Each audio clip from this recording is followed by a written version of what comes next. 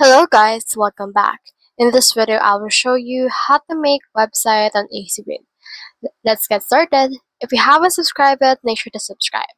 So just head over to my.ecwid.com and then from in there sign up and then you should be able to see the steps right here.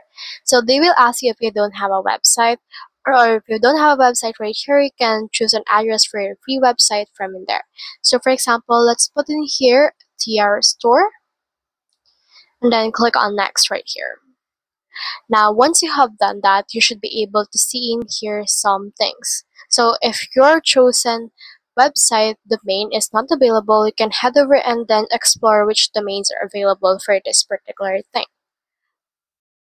So it will ask you some things. So what you're planning to use this for. So you can sell products right here and if you have experience selling.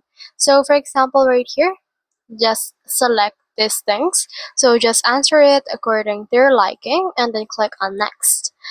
Now, once you have done that, this will redirect you to this one. How would you like your shop to be? It can be basic or specialized. So in here, it will describe your service preferences. So in here, I will choose this one and click on this next right here. Now this will load and then create the website for me. So in here, choose your plans. For me, I'll head over and choose the free plan right here, but you can also choose some things. So as you can see, it will direct you to your dashboard on your Ecwid control panel. So from in there, you should be able to just select some things that you want to as well. So we can see this this is your percentage of completion. Now we can also click on this website right here and see the overview of the website that you have. So let's head over and click on this in order to see the website, the basic website that we will edit out later. So in here, just choose your template that you want. For me, I'll head over and choose this and click on this use template right here.